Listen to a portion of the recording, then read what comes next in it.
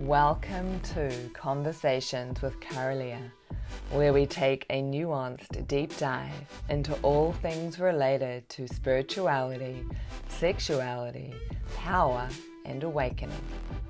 My name is Kara-Leah, and I'm your host for this journey. I invite you to relax back, open up, and get curious. And don't forget to subscribe, like, and share the love. Welcome, everyone, to episode two of series three of Conversations with Kara-Leah. I have a real treat for you today. Today, I'm going to be talking to Bhairav Thomas English. He is the founder of Anuttara Ashram, and he is a legit Tantra teacher. He's a lineage holder in the Shivaham lineage. Uh, in 2018, he completed a six year initiation with Guruji Maharaj. Right? He first moved to India in 1998. So he has been studying and practicing and going deep with the traditional teachings and within a traditional lineage for a very long time. And because he has completed this intense sadhana, it's empowered him as a guru and lineage holder in this particular lin- uh, lineage, the Shivaham lineage. So I met Bhairav and Artemis online. Uh, when I first got to Canada, I was searching for some traditional Tantra teachers that I could work with, um, particularly that I could mentor with. And I came across them. And as a husband and wife team, I was just like, oh, these guys are really interesting. I like their approach. I like the fact that they were very well grounded. Um, they have an ashram that is up in northern BC, although they are in the process of moving from that ashram. And I reached out to them and ended up doing um, some a body of work with them, mentoring. And I just really appreciate and want to honor those who have done the deep work, those who showed up to daily sadhana for years on ends of like an hour, two hours per day, right? Because we live in a spiritual marketplace where there are so many apparent teachers and mentors and coaches out there who are putting themselves forth when they haven't necessarily done the hard yards or done the hard work. And it's not that you won't necessarily receive benefit from those people, but that benefit is limited. Like we don't know what we don't know. So settle in, make yourself a cup of tea, do whatever you need to do, and treat this as always like a meditation, right? Really ground and center. Get that sense of opening to receive, remembering that when we're speaking to people like Bhairav, it's not just the words that he's speaking that are important, it's the transmission of his energy as well. So allow yourself to fully receive that. And as always, stay right to the very end because I always wrap up with some of my reflections on the conversation. Alrighty, let's dive in and have a chat to Bhairav. Bhairav, welcome to Conversations with Kara-Leah. Thank you, Thank you Kara-Leah. Where in the world are you right now? Well, uh, if you can, if you're not in Canada, if you can picture Canada on the west coast of Canada, north of Vancouver, mm. uh, close to Alaska, really. I'm mm. about maybe 30 kilometers from the tip of the panhandle mm-hmm. of Alaska. So I'm quite north. Yeah. Yeah, I looked it up on the map and I'm like, whoa, if I was to drive from Squamish all the way, like I have to go via Vancouver, it's like 12, 16 hours or something driving.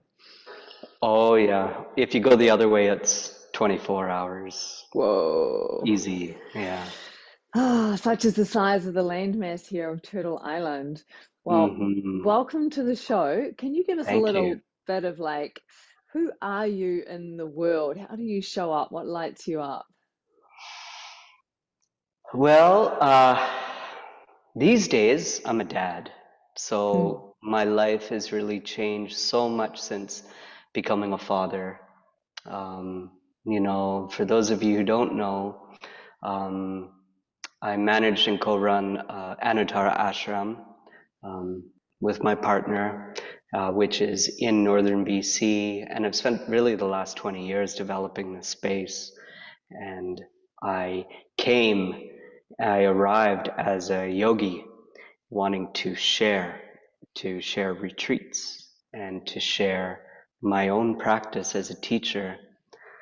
But over the years, I've had to learn carpentry, plumbing, electrical. I've had to learn so many things to help to run this place. Slowly, slowly, volunteers started to come, but I, st- but it was the development of it was it was the development of this land that really started to to bring it up to a level where people really wanted to come and stay with us.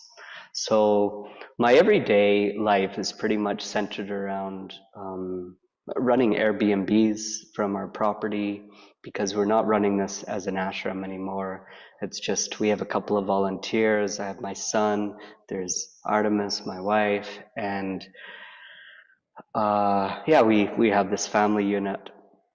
But what really lights me up is my spiritual practice. Um, of course, my son does too, and I see that as a strong reflection of my spiritual practice as a householder in the world. It could be no other way than to than to incorporate also family life into that. So that's part of my spiritual practice, but also my the mantra practice I do, the the yagnas I do, the yantras I do twice a year, and even more often if there's people interested, and all the rest of the things. Yeah. Mm. So how did you find your way onto the spiritual path? Like, well, I have to trace it back. Really, I wasn't very interested before I had a moment where I nearly drowned um, in North Carolina. There were hurricane warnings. There was this, like this riptide that pulled my friend and I way out into the ocean. We couldn't get back. We didn't know the way to get back easy. So I, and I really like we were out there for about 45 minutes and I could no longer hold myself out up. I started to panic after about 25 minutes and my buddy uh, held me up and then at some point he like said to me, I can't hold you anymore. I can't hold you up. So he pushed me away and I seriously thought I was going under. Like I was like, I hope that somebody sees me because the beach was full, but the lifeguard didn't see us because the mm. waves were so big and um, I was going under. Yeah, it's emotional, right? But yeah. uh, my feet touched the ground at that point, and I came ashore. Wow. Yeah, and I I really felt like my life changed after that. You know, I I operated from uh, a different perspective of of living my life as like this Canadian boy in Ottawa. Um, after the vacation, we went back, but something was different in me. I started to actually seek out spirituality, seeking out some some answers mm-hmm. um, to this, and then. Uh, uh, life went on, you know, and I found a teacher here or there, and eventually I found myself in India. I I looked into some Tibetan Buddhism, but it was really hard to get into. And I, I really liked Buddhism at the time.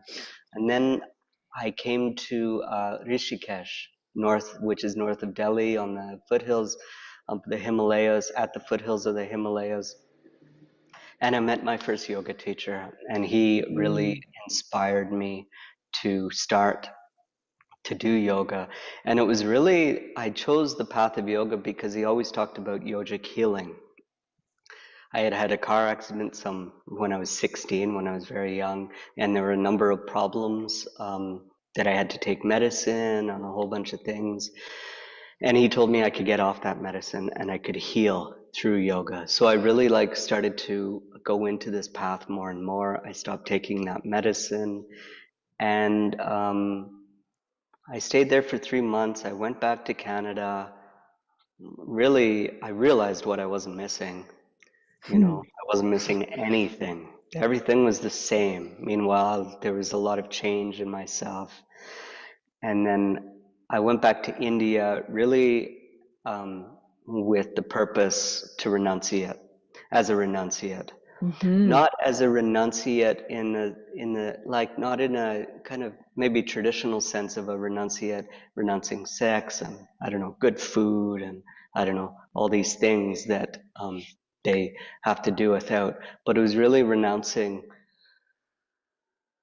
my life as an as uh, maybe I would say normal, not in a negative sense by any means, but just renouncing um, my heart to the path of spirituality, yeah, and and I sunk into that doing six to ten hours of yoga for many many years every day, and really going deep into yoga. hmm And uh, yeah, the rest is kind of history, yeah. So, how old were you when you had the experience in North Carolina? And Mhm. like, how old were you when you went to India? Yeah, so I, if I remember correctly, I was 21 when I had hmm that near death experience, close close to death experience, and then I was uh, I would have been 24 when I met my teacher, hmm Mhm. my Mm. first teacher. Yeah. Yeah, and when you say so you met your first yoga teacher, I'm guessing that he's as a yoga teacher, he's probably very different from the yoga teachers that people might be familiar with in hmm the West. Can you give us like an indication or a snapshot of how he operated as a teacher or what kind of instruction he gave you? You know, was it quite specific in terms of you must do this much a day or what was it like? How did he teach? Yeah, he he was giving some courses to people who were coming through, and he said multiple times to us, you know, none of you, you come to India, and most of you are here for six months, and none of you work. Well, let yoga be your work. So this Mm, is what kind of inspired me. I wasn't I wasn't on vacation, you know.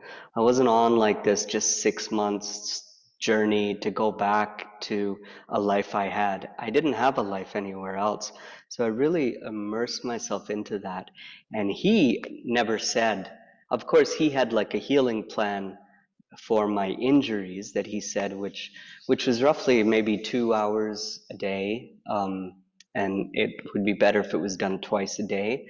So I was focused a lot on that in the beginning, but then that quickly ev- evolved into a lot of meditation and pranayama and things that after I I got over kind of moving through the healing process, then I like did a lot of practice for the basis of my own spirituality.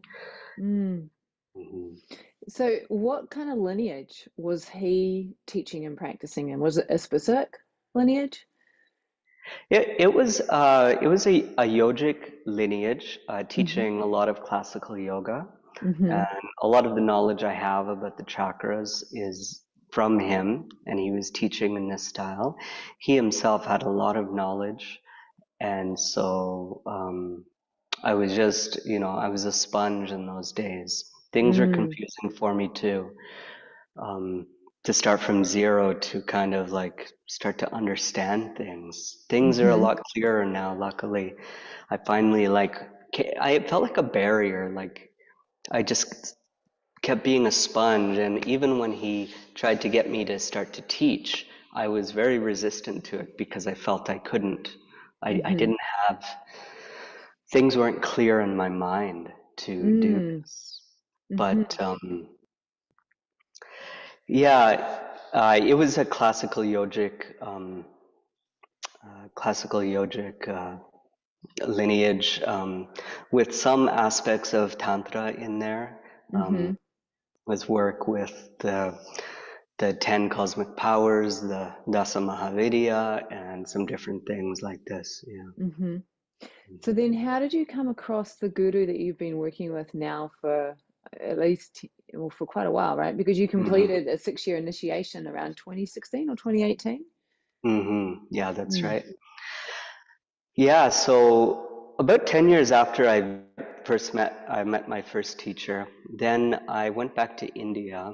Um, and I actually, I recall just like a couple of months ago that I was, um, I had actually said like, I'll, I'll give, I, at this point, by 20, uh, what was it?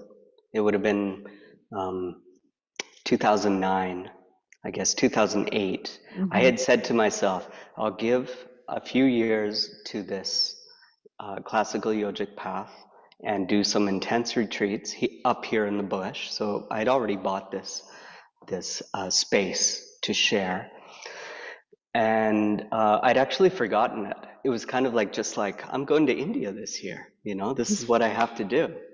And I met with my first teacher for the last time and received some teachings, the highest teachings he could give.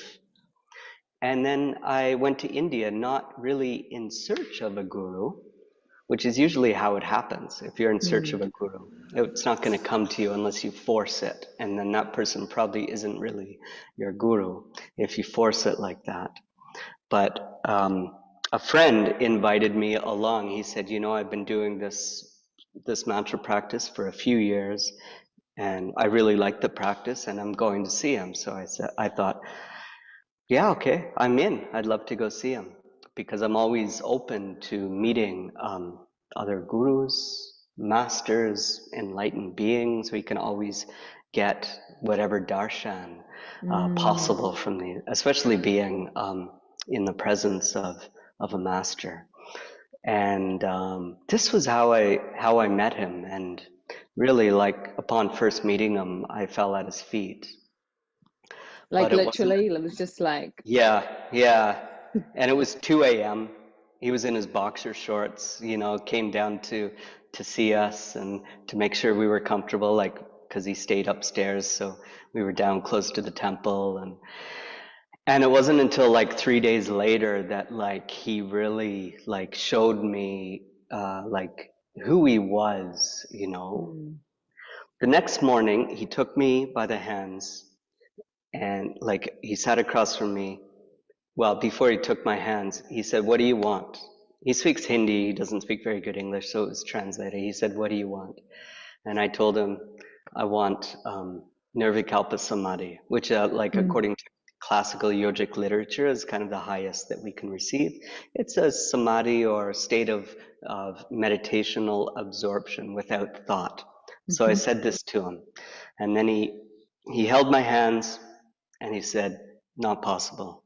But I said, "Why not possible?" He said, he said, I know that you've done a lot of practice, and this is obvious to me, but there's a problem with Ajna Chakra that um, that things can't flow through Ajna Chakra.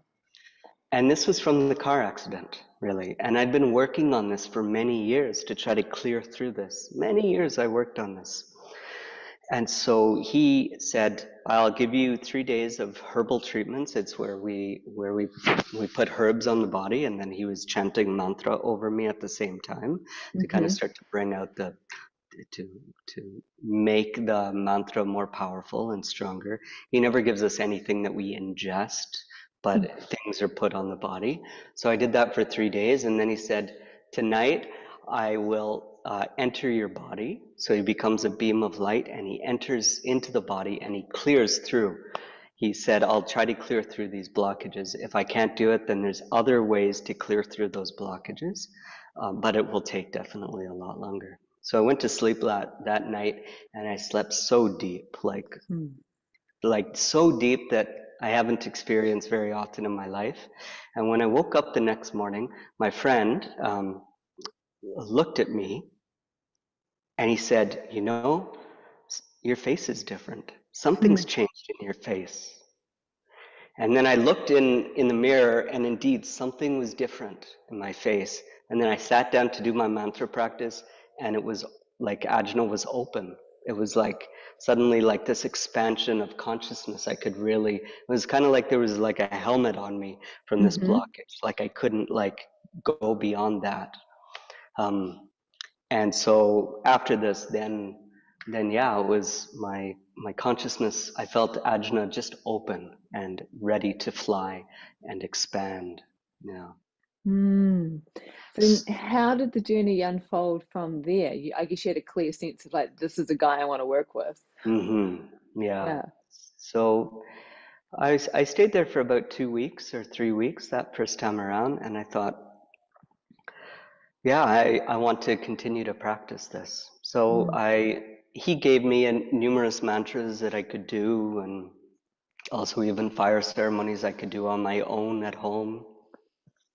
A process that I could do on my own. So I traveled through India for a few more months, and then found my way back at the ashram here, and just continued to do mantra Mm. practice and uh, time went on, and I would visit him every year, and we went on different uh, uh, pilgrimages to different sites in India with groups of people until eventually he he started a process with us to help to clear through all of the chakras for Mhm. all of us en masse, and then also to awaken ajna at a deeper level than I had, because um, really, like that thing that he unblocked, that could get closed again. So Mm. it's really to awaken the chakras, to make sure Kundalini flows, that there's a lot of Shakti in the, in the body and the energy system, and then Ajna chakra can um, can open. So he led us through these this practice for the next 60, six years. Um, Mm.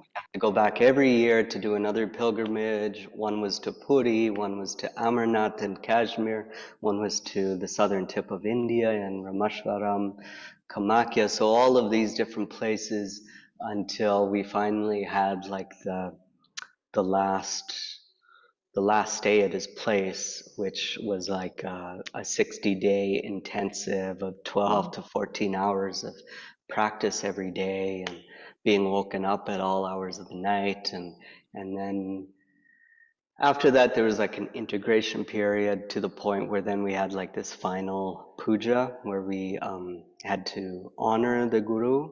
And in that way, when we honored the guru in such a way as we did through this ritual, then we were also to become gurus ourselves. So Mhm. these 64 participants that I have 64 spiritual brothers and sisters in Mm. this. We all went through this this practice and this path. Um, Mhm. so then, what came out of that were, were 64 gurus who teach directly under him. Mhm.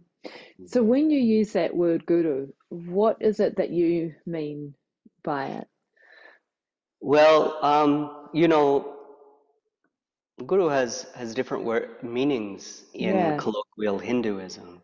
The Guru is the one who dispels light as a typical meaning. But mm-hmm. um, wouldn't you say that even your first grade teacher dispel, mm-hmm. dispelled some of the light? She did. And mm-hmm. also, so does your mom, especially your mom. She's the one who dispels most light because she's our first teacher. And then often comes the, the father, or first the birth parent, and then the other parent, and then aunts and uncles, and brothers and sisters, and all the rest. So they're all considered our gurus. Mm. But then in India, there is this concept of the guru as being the uh, dispeller of light that brings us to through the ocean of samsara Mhm. or to enlightenment. And um, and yeah, me being a teacher of tantra, me being a guru of tantra, it means that I'm kind of like a an apprentice to Guruji. Mhm. So the same way he, he's used this example before. If you go to school to become an engineer, you just can't go out and I don't know build some huge dam somewhere in Russia or something. You have to be an apprentice for a long time and even work with other engineers on such a project. You could maybe do small things with your degree, but it takes a long time to be an apprentice. So really, this is what what what myself and these other 63 people um, are uh, are sh- able to share, kind of at an apprentice level of a guru, Mm. um, and um, yeah, at the same time, we are um, the energy we generate is our own energy because he used to kind of feed us uh, more or less depend of the energy depending on where we were at.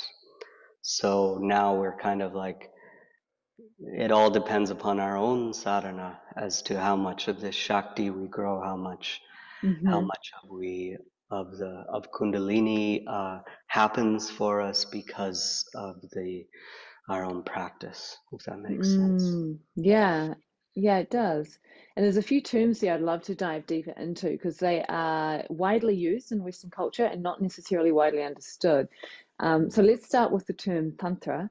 Um, Mhm. so this particular guru that you worked with, he's within a tantric lineage, correct? Yes, yes. Yeah. So can you share a little bit about the lineage and a little bit about what tantra means to you as a traditional tantra teacher?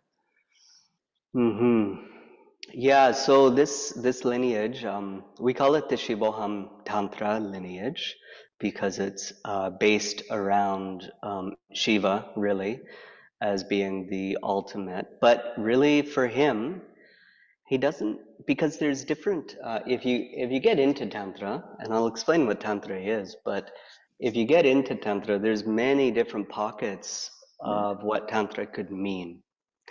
So then, um, and it depends also on the Godhead that we worship. There's Vishnavite Tantra, which is Vishnu as the the the um, main deity. There's Shaivite Tantra, which is uh, which is the which is Shiva. There's Shaktism, which is based upon Shakti and the and the goddess.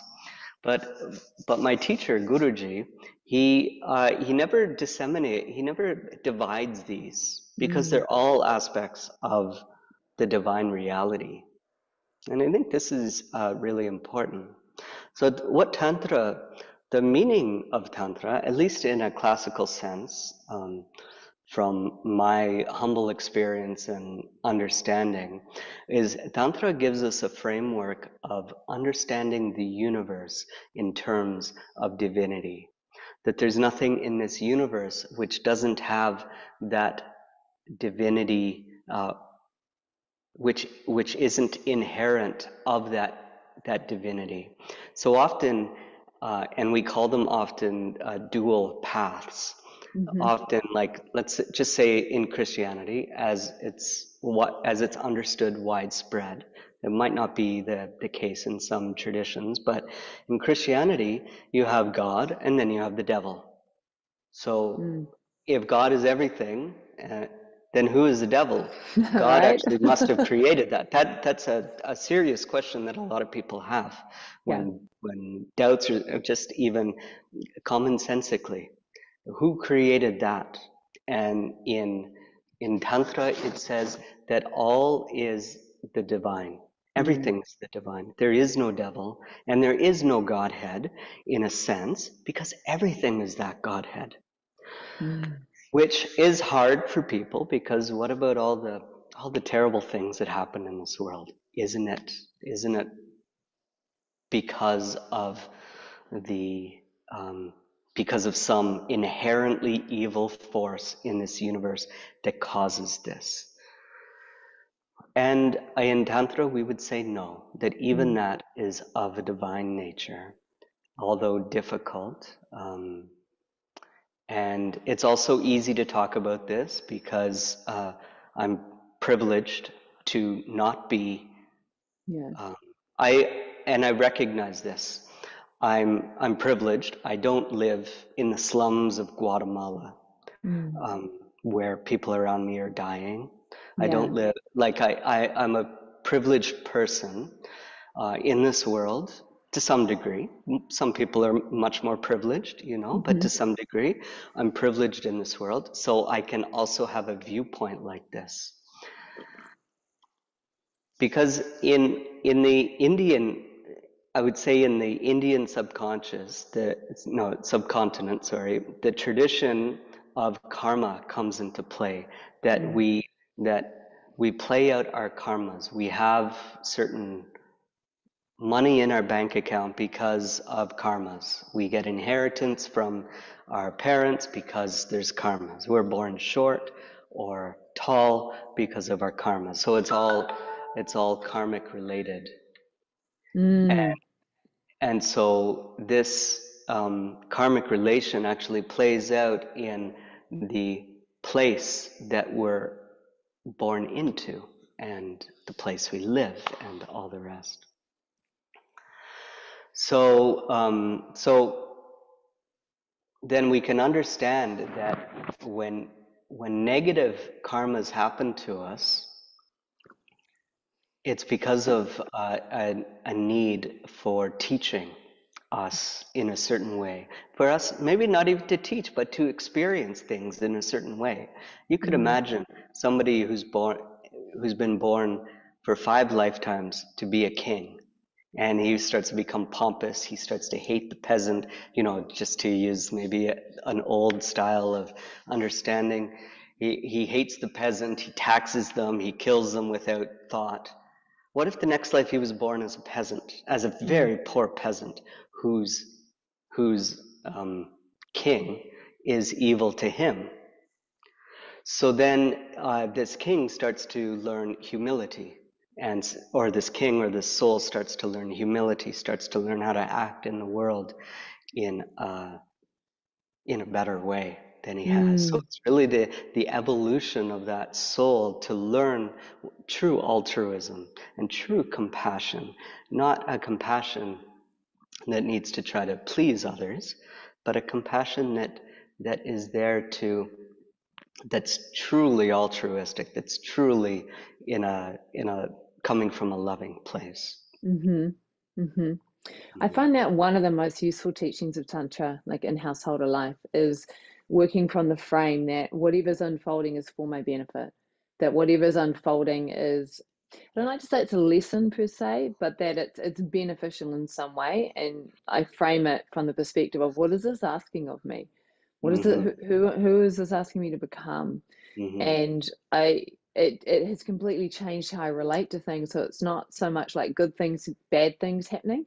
It's more like everything is beneficial, everything is useful, everything is like kind of molding or shaping or um buffing buffing away the rough edges, you could say. So Mhm.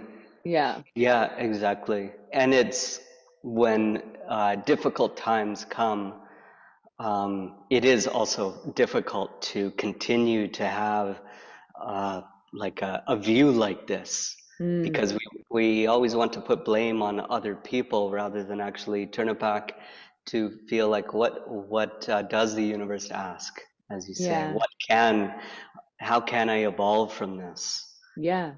I mean, that's when I find it the most beneficial is when the shit hits the fan, because that's when the hmm tendency is to want to blame or push away or resist or Yeah, act like a spoiled brat exactly. or whatever. That's the moment that I'm like, okay, what if this is for my benefit? Who hmm am I being asked to become right now? How can I almost like leverage this to the greatest benefit for myself and others? Um, yeah, it hmm just change it changes the way of looking at things. hmm Um, Okay, so we've discussed Tantra, we've discussed karma for a bit as well.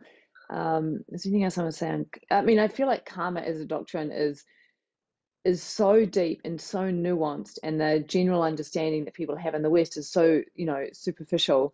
It, it, it, I'm even sort of a little reluctant to go into it here because I'm like, oh, there's, there's so much around it. Um, I love the definition though of karma being bound action, like action that is coming from conditioning, coming from hmm aversion or coming from attachment, as opposed from to kriya as spontaneous, free action. hmm Um, I don't know if you want to comment on on that at all as a way to sort of understand what karma is, that it's usually it's the way it's the energy underlying the action that we take.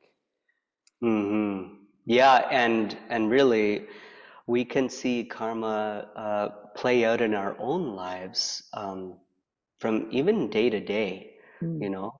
But uh, karma is really the um, uh, yeah, that outcome of action. So if I am, eh, let's say that if I were to have a child and I was mean to that child every day, one mhm, day that child will come back to me and be mean, or yeah. or in some way, you know.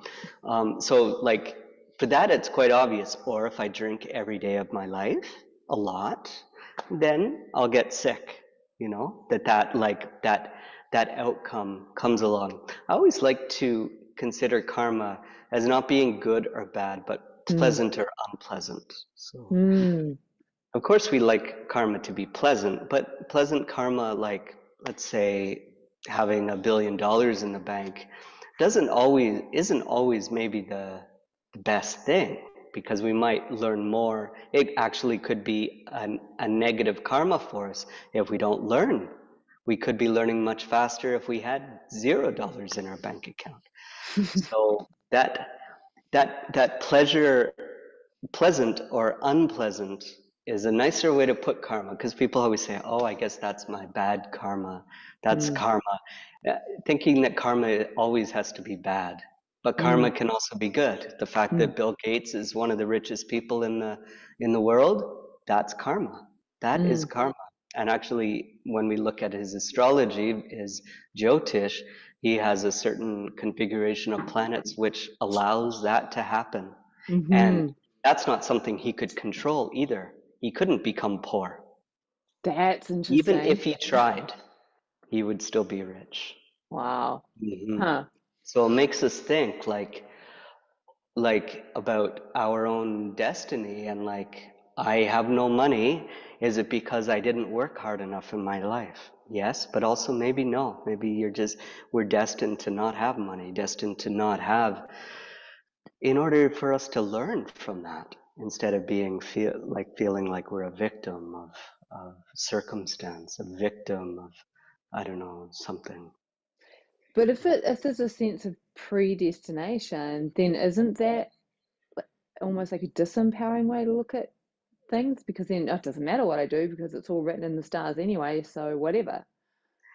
Yes and no. Like we we have free will, yes, and we can change See, um, astrology is saying that these things are a tendency. Mm-hmm. It's not an absolute. Right. Bill Gates, just to continue with him, I'm not a supporter of him in any way, but um, Bill Gates also carried through with the right actions in his life in order to become wealthy. Mm-hmm. But it's true. I see this especially in India quite often that um, because the, the understanding of and belief of karma is so entrenched in their culture that that people who are born into a certain uh, caste or class of people, poor or rich, especially say poor, they don't even try to get out of that because that's just the way life is. And on the one hand, it's very beautiful because there's a country of people who, uh, well, many of the people, they don't try to get out of that that circumstance. Um, but on the other hand, they're they're okay with just being who they are, mm. which is beautiful because um, in the West I don't see that people aren't okay with who they are. So mm. there's constantly change needed. We're constantly having to to do this, do that, you know, instead of just really accepting, like, um, because there's some non-dual teachers out there who say that no matter no matter what we do, we can't change the circumstances. All we can do is become present at every moment. Mm-hmm. Mm-hmm. I'm not. I don't believe in that necessarily, but yeah. I do.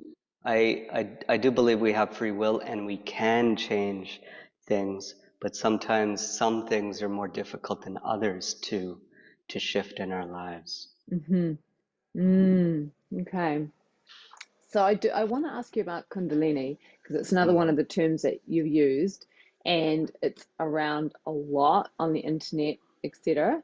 Um, and what I see is a lot of misunderstanding out there in terms of what Kundalini is, what Kundalini awakening is, how to work with it skillfully. Um, is this something that you've received teachings on from your guru? Absolutely. Yeah. I, I first started learning about Kundalini with my first teacher, but I didn't really feel like Kundalini was um, more awakened until Guruji, mm-hmm. until my uh, tantric teacher. And um, yeah, Kundalini, Kundalini you know, I tried so long to try to understand it and grasp it.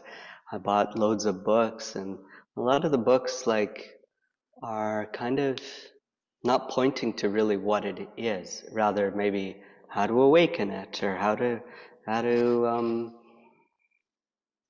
yeah, activate it or how to purify it or all the rest.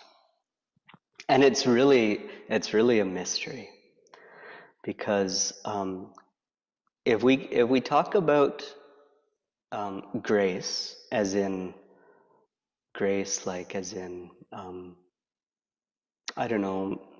Often it feels like something that descends on us at a certain moment where we feel we could have it in a kirtanam, we, when we're singing or when we're um, when we're meditating or when we're doing everyday actions. And this great grace descends on us and we have clear seeing we have clear vision of reality and we have this kind of opening. This is kind of like often considered to be like that that grace of shiva but then the grace of shakti because tantra mm-hmm. we often look at the at the two shiva mm-hmm. and shakti the yin and the yang um, the the two sides of the coin. And Shiva is consciousness, is said to be consciousness, and Shakti is the manifestation, is essentially the energy. The energy when we break down our bodies into cells, into atoms, into particles and new uh, neurons and electrons and subatomic particles and all the rest. Essentially, as science tells us, everything is energy and everything mm-hmm. is pulsing with this energy. It's a magnet. It's like a, uh, it's it's this energy that moves, and the solidity is really kind of it's mm. some kind of an illusion, you know, that that we have this uh, solidity. But um, Shakti is said to be that energy. Shakti is all of that manifestation. But Shakti as well is more than just like this physical manifestation. Shakti is also this emotional manifestation and the mental manifestation as well. So we have emotions, which are, is a certain kind of energy. When you have anger, much different from sadness. So that carries its own kind of energy, and so do thoughts. Thoughts also come as certain energies. So all of this is the manifest. So then, when we start to talk about Kundalini, Kundalini is the grace of Shakti. It's the grace of Shakti mm. which starts to move through us rather than the grace of Shiva. And if we look into different um, traditions, like let's say in Christianity, and we look at the um, um, some of the some of the writings of the saints, they mm-hmm. also they also write about things that could have been written by Yogi. one of the rishis of India. Things yeah. are very similar. Things start to come together in this way, even though, of course, Kundalini is not talked about in Christianity at all. The serpent is a very uh, powerful um, symbol in Christianity. And interestingly enough, Kundalini itself is considered to be a snake or a serpent that's coiled three and a half times. Uh, that's called three and a half times at the base of the spine. Now, this is a, a symbolism to show that, you know, when a, especially it was often a cobra, that um, because the cobra in India, snakes are, as I'm sure you coming from um, New Zealand, spending time in Australia, know how much snakes are are uh, are feared. Um, snakes in India are greatly feared, and so this is also a force that we should also fear as well, mm.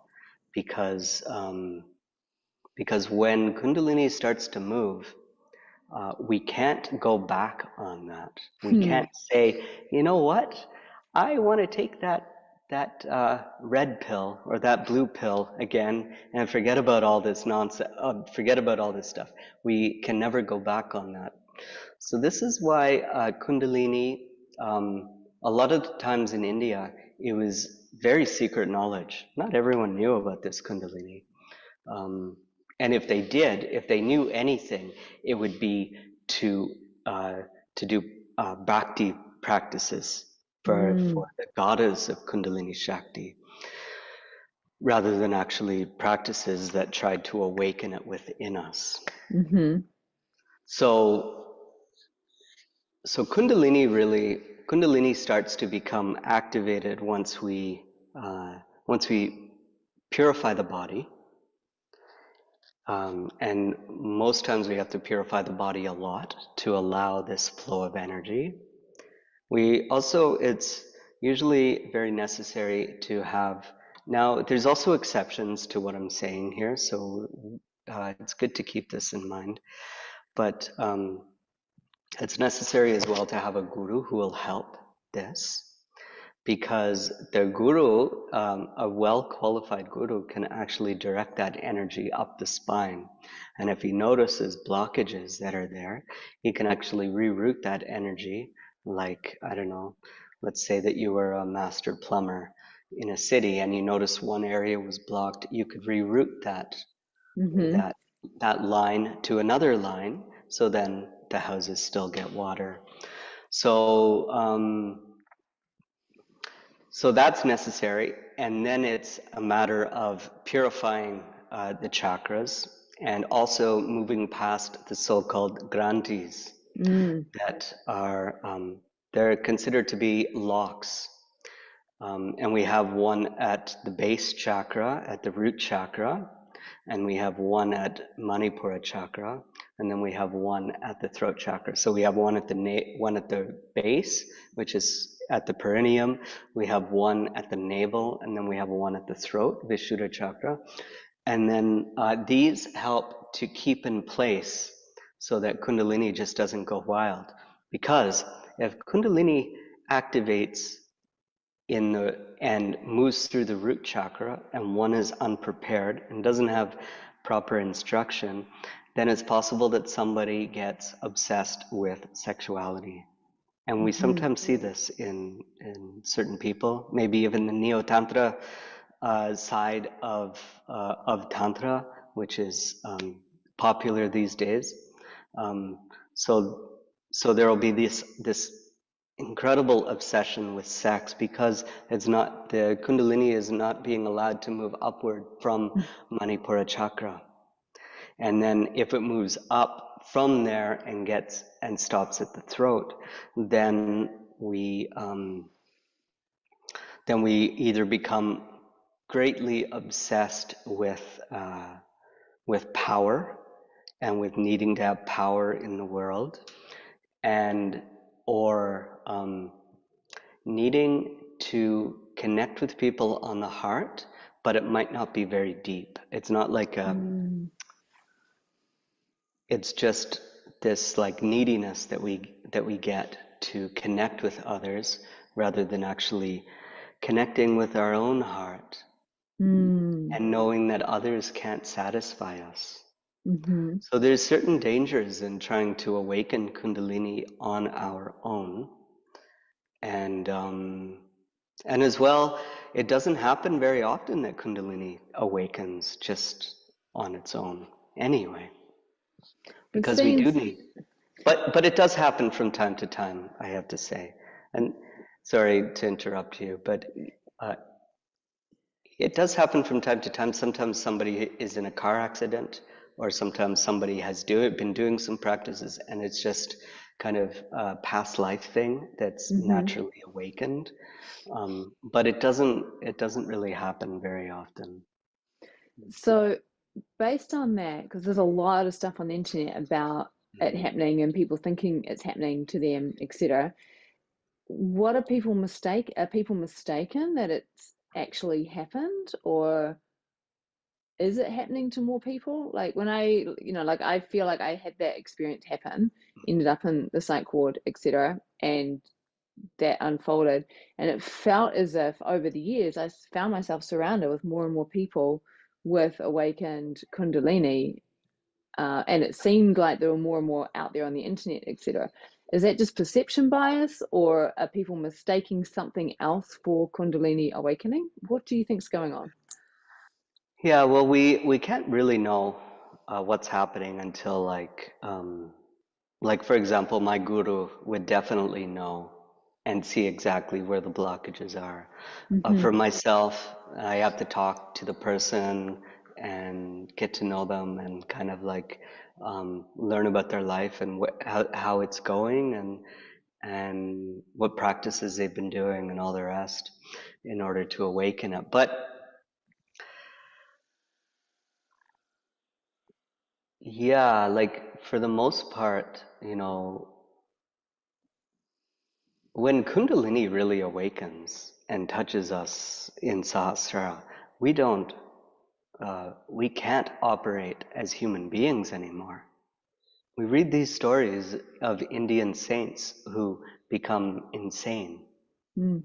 because they can't operate anymore. And they, uh, like for Guruji, for, ex- for instance, he spent two years in a state of samadhi where he couldn't clothe himself, he couldn't feed himself, he couldn't, um, uh, he had to, he had to be spoon fed. He seemed completely mad, but he wasn't. He was just gone from, from the earth. So, my perception is is that people have um, a like because we can energize Ajna Chakra, we can energize Sahasrara, and we hmm can have like a a, a lifting of an expansion of consciousness. hmm But does that stay forever? Does that really stay forever? Does that become like the um, because we have to also merge with that with that awareness and that consciousness on hmm at an ongoing basis, you know. So um, So what I what I wonder then is that the term, like, so when people are talking about I've had a Kundalini awakening, would it be more accurate to say that they start? So if, I- if I look at like the three phases of awakening, like immersion in awareness, right? Another um, samavesha and shakta samavesha, and then can't remember the name of the last one. So there's yeah, immersion in awareness, immersion in the energy field, and immersion in the void or the potential of all that is. It feels to me as if when people are experiencing something they're terming a Kundalini awakening, it feels as if they start people are starting to immerse in the energy field. They're starting to like their perceptual abilities have expanded and they're aware of energy, awake to energy in a way that they weren't before. mhm. So, is it possible that what people are terming Kundalini awakening is an expansion of perception related to energy, but it's not that Kundalini Shakti has actually awakened in their system? Or are you mm. saying that an awakening is when it's got to a certain point and what's happening for people is it's just beginning to move? I think I think that um, yeah, this like of course we can awaken to yeah this this energy field that's around us and Mm, um, and yeah, I guess that happened for me in my first year of yoga. You know, like this is like something that that that needs to happen or that does happen. Um, but uh, I think a lot of times people then through that awakening to that to that energy, then they have glimpses of that of that ultimate reality.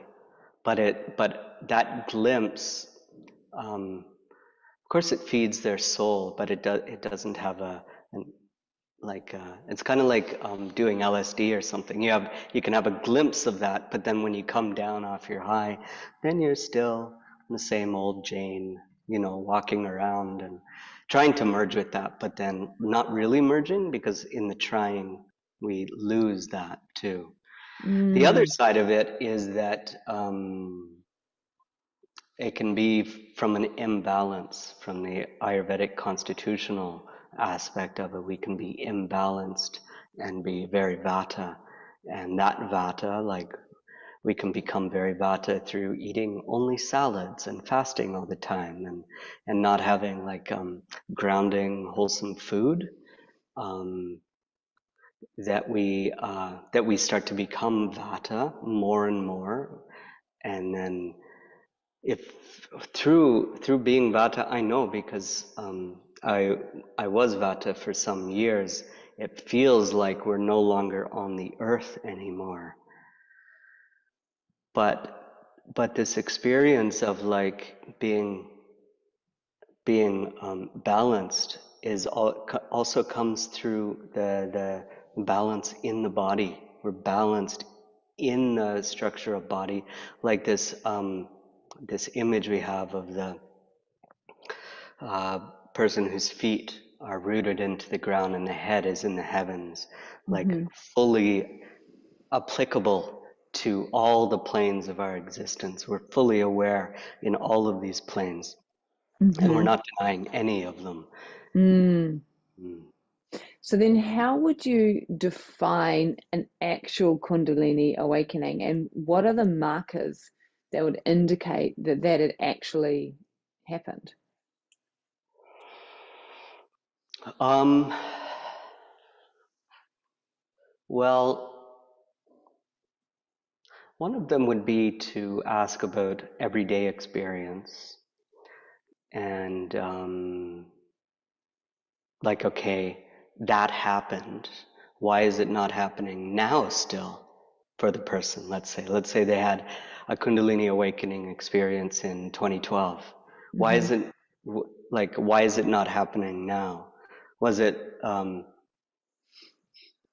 yeah, yeah. What what what changed with that? Because really, like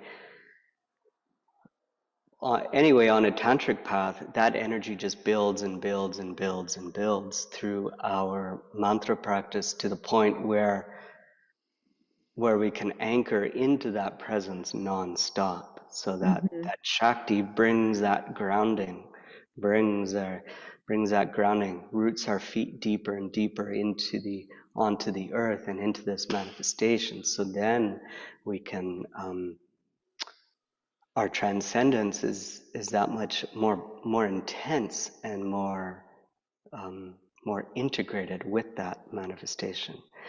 But um, part of it is that part of the markers, or maybe not the markers, but really the questions I would ask would be like, maybe how is your diet, which is maybe kind of an obvious thing. Um, uh, yeah, what practices are you doing? Uh, do you have a guru? Um, did you uh, receive initiation? Like, because uh, these, of course, these things are classical, but um, we always say in classical tantra that that when we give when we give mantra, mm-hmm. we give somebody kind of a piece of our own kundalini. And then that that kundalini can like that energy uh, can be transmitted through mantra. And then that mantra starts to awaken kundalini. So but really um, yeah it's it's a lot it, it's a lot having to do with the feeling and um, in knowing what's happened with the other person mm-hmm. Mm-hmm. Mm, so curious, interesting. Like I know um, with my experience, like my whole perceptual perception of reality shifted and changed, and perception of self shifted and changed. And there was a period of like five or six days where that was so different, and then I was end up in the psych ward, right? And then mm. bam, woke up after having sedatives, and it felt as if I was right back inside conditioned mind so perceptual reality had shifted dramatically again. But it felt like it was that glimpse that then gave me the will or the motivation to go, now I really need to double down on practice, double mm-hmm. down on studying, double down on just showing up every day because that feels possible that feels like, well, I didn't know reality could be like that. Um, and it feels as if it took a long time, like so much practice to begin to touch on that perception of reality again as such. Um, mm, so curious because I mean, I get a lot of people reaching out to me who have had or feel as if they've had Kundalini awakenings and presenting with all kinds of symptoms, right? Um, yeah, which none of which are what you're mentioning. So that's why I'm like, oh, this is really interesting. Mm-hmm. Yeah. Mm. Yeah, because like after all, um, what good is a Kundalini experience unless it changes you to the core and Mm, brings you closer to the divine, brings mm, you closer to the universal reality, to our inherent nature? mm-hmm. I mean, yeah, when my first symptoms were like uh, heat on the back, right at the Yeah. spine, at the heart, but that didn't really give me anything. I Mm, would talk, at first, I was excited about it because something obviously was happening. Uh, but then as time went on, I was like, what did, it didn't bring me anything. yeah. Brought me a thought that I was on the right course of Mm-hmm. action, but it didn't give me anything else. It didn't Mm, really touch me to the depths of my being. That came with other practices, yeah, but mm-hmm. but, but not like the, the the more obvious things like vibration in the body or or um, I don't know uh, vibration of the spine or energy traveling up and down the spine or anything like that. You know, it it, it was really yeah, and Kundalini as well, like, has to happen on its own accord too, according Mm, to uh, our our um, according to really our karma, according to the past mm, practices we've done that help us to move organically into this. So, mm, mm, mm, and that's a really good point because uh, people who, especially um, people in the West, they want this like fast food, fast money, fast sex, fast this, fast that, and they want their spirituality to be fast. So Kundalini has to happen like I don't have 25 years for Kundalini to to work. I have to have it in one month, you know. So then it's like uh, we we also need that, but really like um, deepening into our spirituality can never be rushed. Otherwise, it becomes superficial. It mm-hmm. becomes just lip service. It isn't. Uh, the same thing with love. We can't push love. You know, Mm, love unfolds when it's ready to unfold. If we have, mm, if we have um, places in our lives where we're unforgiven, we can't fully, fully love. We have to learn how to forgive. We have to learn how to how to communicate. We have to, you know what I mean. So it, that is also another aspect that has to come to us organically. Um, mm-hmm. can't be pushed. And when Mm-hmm. we try to push something like love, then it just it can't work. You know, we start to feel resentment. Mm, hmm.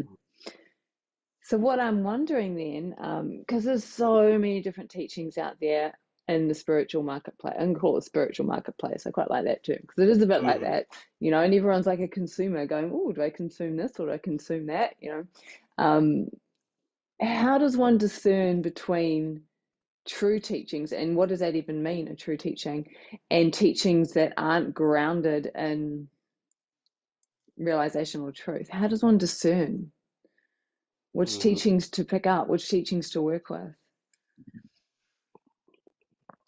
Well, I would say um, the most obvious one and most important one would be to uh, to search on this person's website or whatever to see if they mention their teachers. Mm, Because in classical tantra and in classical yoga and in India, the reverence for the guru is of ultimate importance because they're the ones who allow us to share these teachings and who ask us to share these teachings. hmm So that reverence really should be there. Um, mm, but if they don't mention any of that, then who is this person? You know, also lineage is another one that's really yeah. important. Does this person come from a lineage or are they trying to create their own lineage um, Mm, or something? Which people don't really create their own, it's not possible really to create your own spiritual lineage, you know, you have to have some background there or something, you hmm know. You learned it from someone. If Mm-hmm. not someone, then who? So, or at least Well, something is explained in there I want to play devil's advocate there and be like, yeah, but what about the first dudes or the first people in a lineage who are having direct realizations? I mean, they it has to start somewhere. Like, I mean, Sure. Kshemaraja was a disciple of Abhinava Gupta. I'm not sure who Abhinava Gupta's teacher was. I'm guessing he did have one. But if you go far enough back, I mean, is there Yeah. such a thing as direct realization that generates absolutely. lineage? Absolutely. But uh, they're few and far between. Yeah. Yeah. Yeah. It's just like when we look at somebody like uh, Ramana Maharishi, who Mm. didn't have really a guru in this life, in the life that he had, um, then you would say, well, I can be like that. I that can be that guy. I have no guru. I'll be like him. I mean, it's kind of uh, yeah, you could be like him maybe if you spent 16 years living in a cave, meditating nonstop on a con- on one concept. Who am I? You could come Mhm. up with your own concept or whatever. But like he also, yeah, Yeah, also there's a, there's a hunger there, isn't there? It's like that Yeah. single pointed focus. This is the only thing that is real, that it matters, and I give myself to that. Which in a way is is still there's there's that giving over to something, and it might not necessarily be a guru person, but it's still a giving over to all that is, I guess. Mhm. Yeah. Yeah, and for for us to at the same time think that we're like Ramana Maharishi, we've kind of also missed the point because eh, we lack humility. Mm. So this is something that the guru gives. Mm. Smash our ego so many times that we're left kind of just and I mean my guru does it all the time, but he doesn't do it with words. Doesn't Mm. do it with words. hmm Mhm. It's an it's an energy that has to flow through him for me to understand um, Mm. the teaching of humility and and um, to let go of ego and to all these things. So it's um, yeah. Can you give a concrete example of a moment where interacting with your guru led to a dissolving of ego structure or like something concrete, a moment? Well, like this past time I was over there, he didn't look at me or talk to me for about 20 days. Mm. you know, which is hard when it's somebody you greatly respect and I don't know, kind of want approval of uh, to some degree, Yeah. um, want to be seen good at, in the in in that person's eyes and all the rest. So yeah, Mm. think if your partner does it, right? Like Yeah. doesn't look or talk to you for 20 days. It, So- the the um, partnership would probably be over. You Mm. know, the yeah, But were you aware in looking- that? Were you aware that ah, this is like a test? This is this is a you know, were you in that sort of metacognition of awareness of noticing what it's bringing up in you, but Mhm. being aware that this is what needs to happen? Yeah. yeah, absolutely, yeah. And that's the key, isn't it? Right?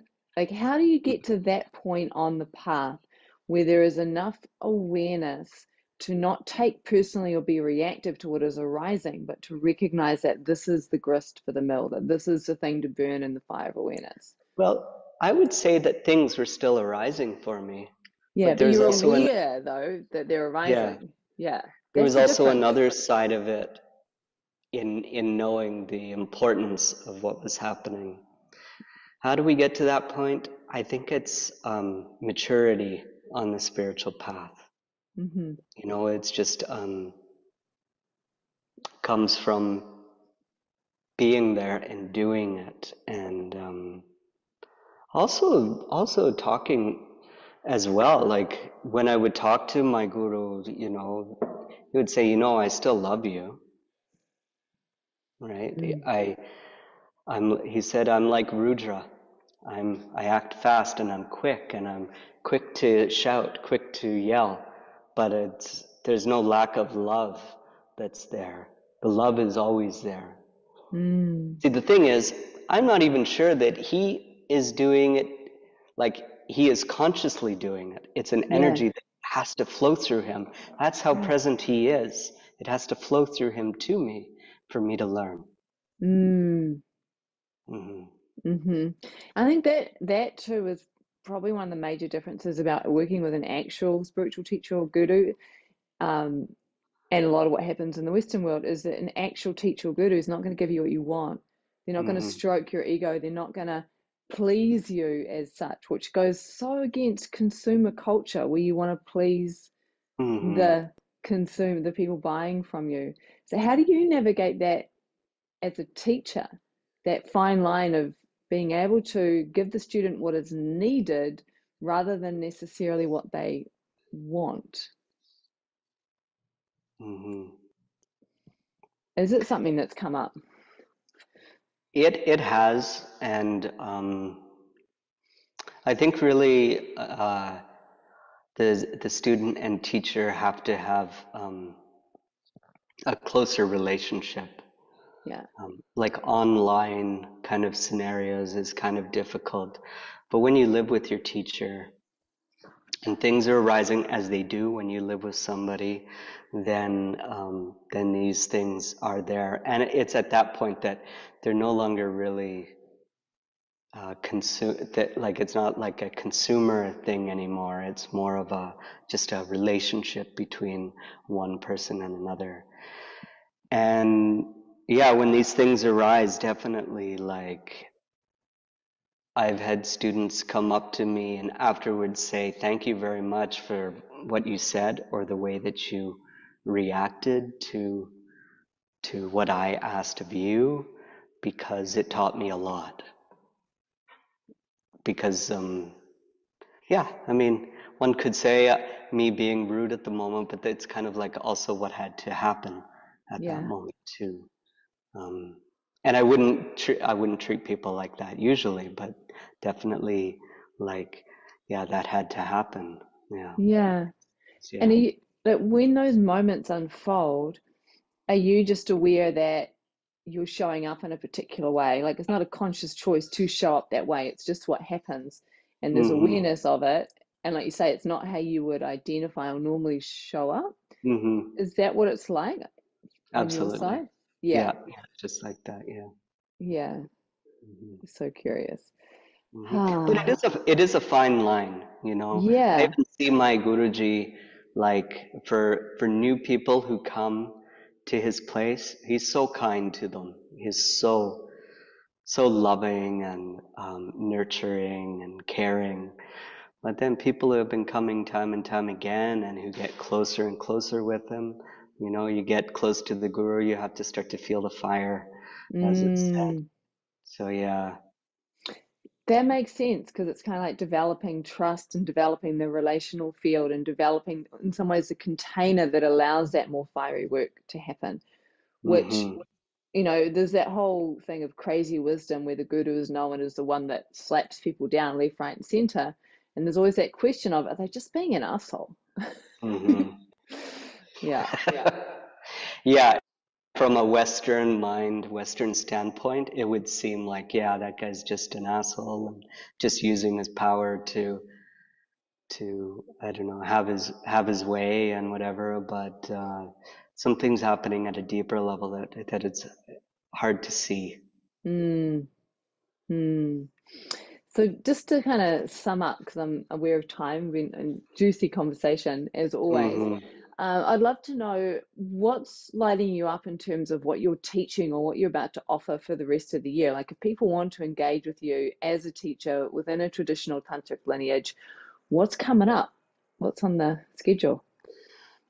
Well, um, actually, I think in around a week we're starting uh, a three-day free uh, mini series that um, kind of talks about talks about this talks about Kundalini and uh, shares some practices that people can do, and even also uh, if they're teachers, they can also teach So, trying to clear up some of the misconceptions around Kundalini and uh, address this very issue that we've been Mm. talking about. Um, yeah, and then, um, yeah, after that, we have planned like um, this this quite amazing um, practice that I learned from my teacher, and I um, want to share it. And this is like a this is like a practice that we do on each chakra, and we move through the different chakras um, week by week, like putting all of our energy into each chakra as we go along, and um, it it's a it's a um, teacher training on the one hand, but it's also a group mentorship on an, on the other hand. So it's going to be like uh, two hours, three times a week, uh, as far as I know. Um, so it'll be like six hours a week for nine weeks. So it'll be a, there'll be a lot of information. We'll be practicing online um, and all the rest. And uh, I'm really excited about it because like um, that this avenue is opening up more, and it also feels like the right time to share it because of all the misinformation that's out there on the chakras and on Kundalini.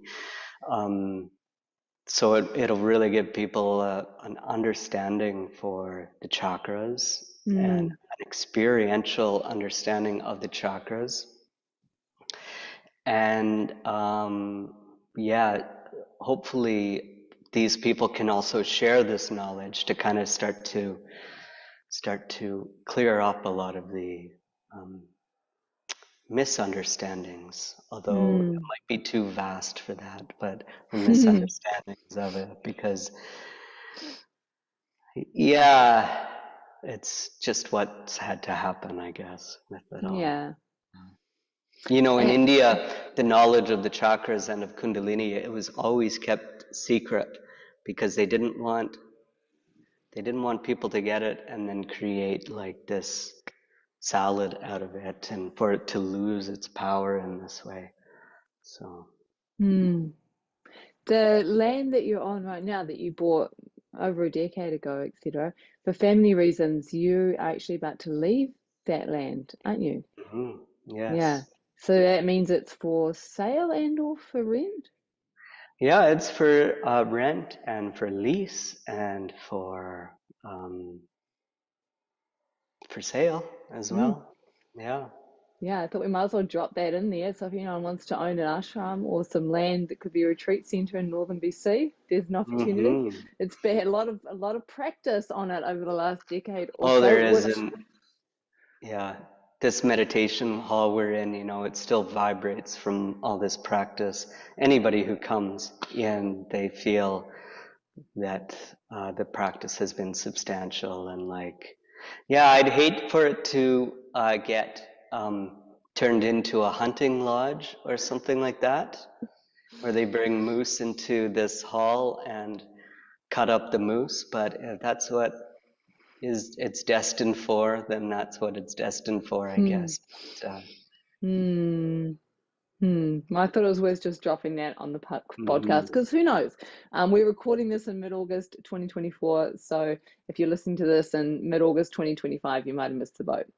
Uh, Mm. finally, finally, to close off, I always invite my guest to close with a prayer or like a visualization or intention, something you'd like to see unfold in the world. So do you have a do you have a prayer or an offering that you'd like to to leave us with? Sure, yeah, Yeah. sure. Okay, so let's put our hands together in prayer mudra and slow the breathing down.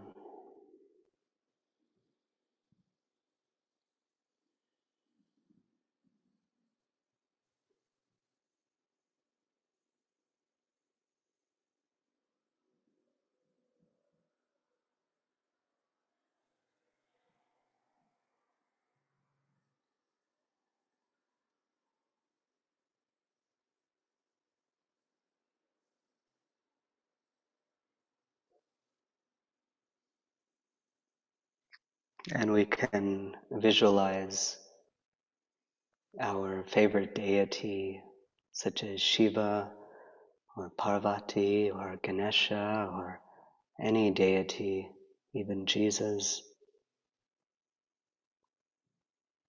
in front of us and to touch our hearts. Mm. Touching our hearts to open our hearts so that we're open to the world.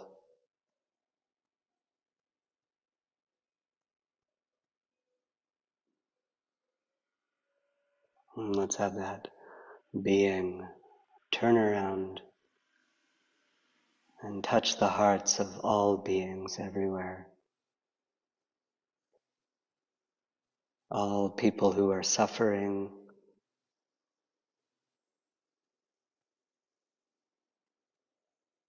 May they have discernment.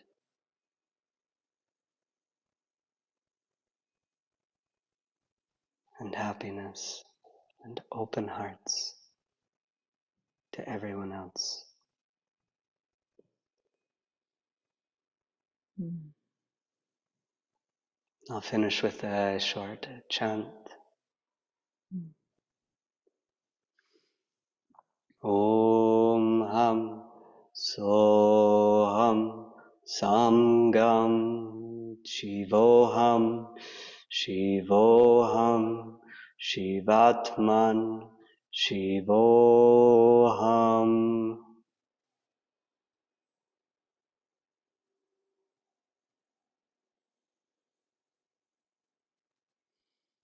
Mm. Namah Shivaya. Mm. Blessings, Baida. Thank you so much for coming on. Thank you for the work you do in the world. Thank you for your dedication to practice and to sharing the practices and Okay. the lineage. And also thank you for having me. It's been Mm. a real pleasure to speak with you again, um, but also to, yeah, go through these things and hear from you. And um, yeah, thank you also for your work in the world.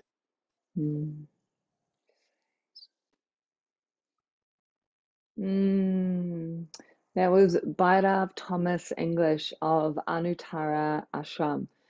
He, I, I just love his energy. He's got this a real gentleness, but also a groundedness and a and a.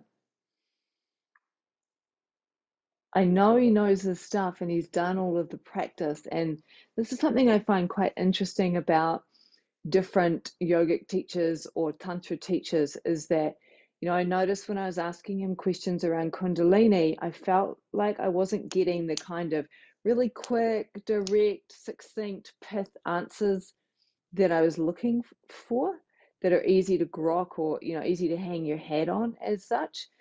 And simultaneously i could just feel that where he's moving from is so deep and so true.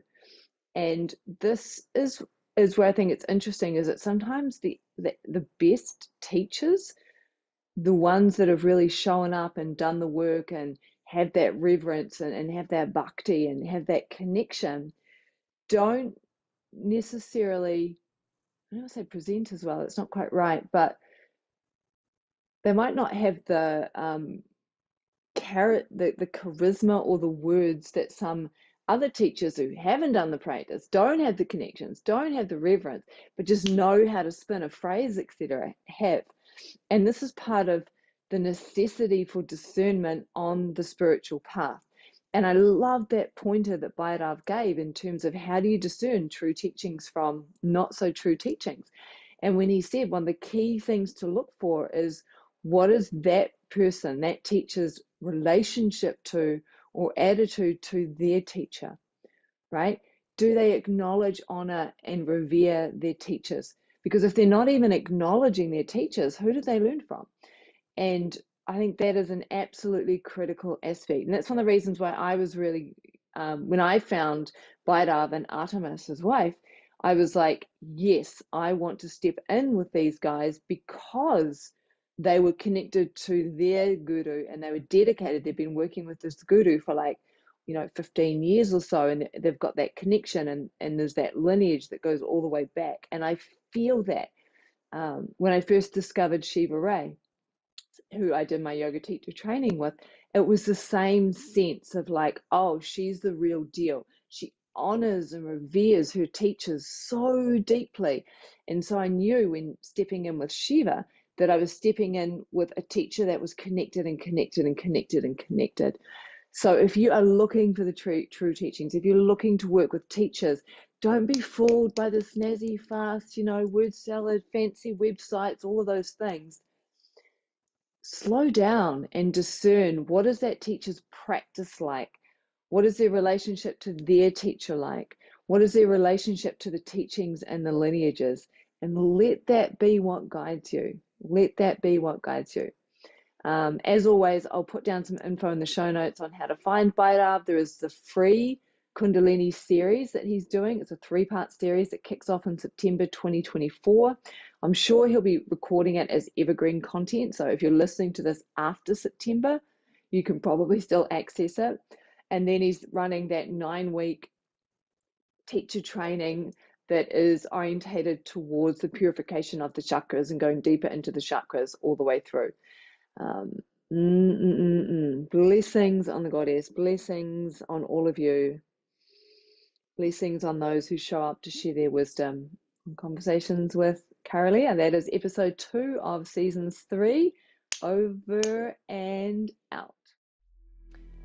Thanks for listening to Conversations with Kara-Leah and trust that you enjoyed that nuanced deep dive into spirituality, sexuality, power, and awakening.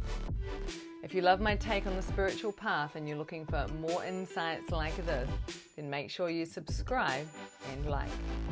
You can also check out my website, karaleah.com. That's K A R A L E A H.com. And subscribe to my weekly newsletter.